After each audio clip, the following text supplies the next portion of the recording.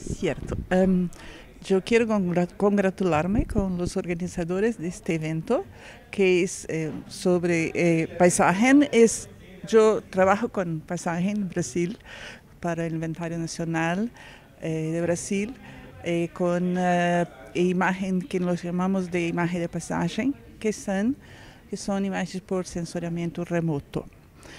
Mi presencia acá es más relacionada con el Congreso Mundial. Eh, entonces mi presentación está, está para, relacionada con esto. ¿En qué consiste el Congreso Mundial de UFRO que se va a realizar el año que viene en, Brasil? Ok, uh, a cada cuatro años o cinco años, uh, UFRO promueve un Congreso Mundial uh, en varias partes del, del, planeta. Es la primera vez que vamos a ver un Congreso Mundial de UFRO en América Latina. Eh, desde 1892, cuando UFRO empezó la organización de, investigadores forestales, es la primera vez que tenemos esto en, América Latina. Eh, empezamos nosotros nuestra eh, programación en 2012, entonces la promoción de nuestra candidatura.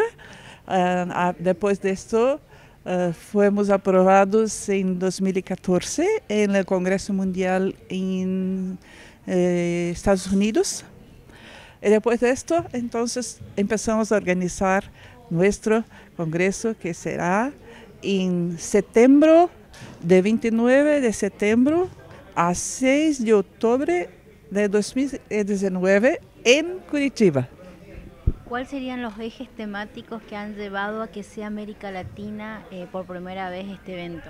Sí, yo creo que para IUFRO eh, es también un gran desafío porque es, ellos son muy conectados con el hemisferio norte, tienen muchos, son más de 15 mil investigadores.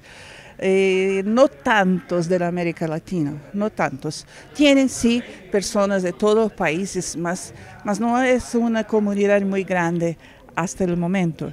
Entonces, yo creo que es una oportunidad para los brasileños y para los latinoamericanos de hacer una, una eh, eh, un trabajo conjunto con, con los investigadores de, de, otros países y para ellos trabajar con nosotros con más frecuencia e empezar una red de, de trabajo conjunto en ciencia forestal eh, podría ser un, una cosa muy importante como legado del Congreso.